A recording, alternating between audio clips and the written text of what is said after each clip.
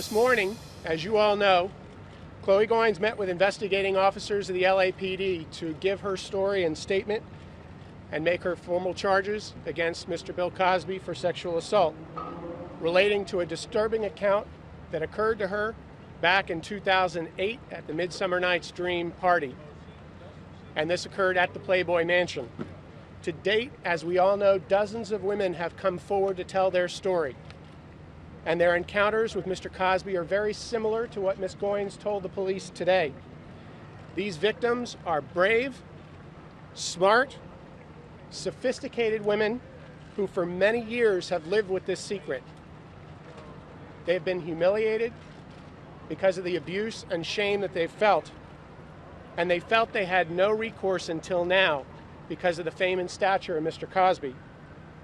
Ms. Goins is potentially the first victim to come forward now who we believe is within the California's legal statute of limitations to bring criminal charges against Mr. Cosby.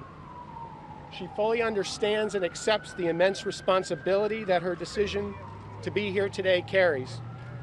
Ms. Goins and I are here for two reasons for justice and accountability.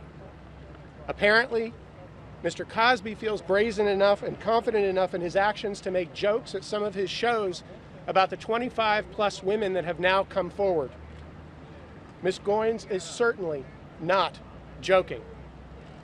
This is a serious matter involving potentially serious allegations of drugging my client and alleged sexual abuse. We hope that the people that are paying to attend Mr. Cosby's shows understand that these victimized women have broken their silence now and they will not remain quiet any longer. Mr. Cosby should and will be held accountable for what he's done. The increasing courage of America, uh, the increasing courage of the women in America today to come forward with allegations of sexual abuse is something that should be encouraged and not joked about. I appreciate your time here today.